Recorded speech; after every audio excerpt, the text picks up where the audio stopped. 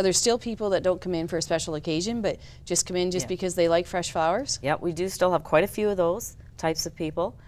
And again, because the availability of, of flowers in, in more types of stores as well, I think people are taking flowers home more. They're just buying them in different places. Right. But they, but they understand the importance of them and how they make people feel, and they like still enjoy them. Mm, that's a good thing. Mm-hmm. So, how many employees do you have at Kay's? Uh, currently, I have 2 Mm-hmm.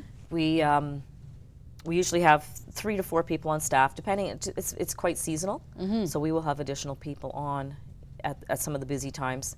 Th- things like Mother's Day, Valentine's Day, I have up to 15 to 20 people, just because we have that many orders. Whereas on an everyday basis, we have you know anywhere from three to five employees. So, when you go up to 15, are there some family and friends that get called in as favors for those kind Yep, of days? Definitely family and friends.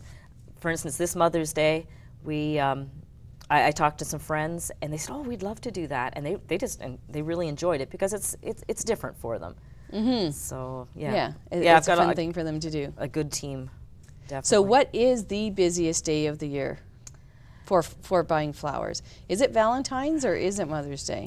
Mother's Day is bigger, but we can spread that over two days because we can do Friday, Saturday, Sunday, whereas Valentine's Day is a one-shot deal. There's no sense getting them early or Right. after Valentine's Day. Mm-hmm. So volume-wise, Mother's Day is bigger, but Valentine's Day, I mean, you got to get those orders out within a small period of time.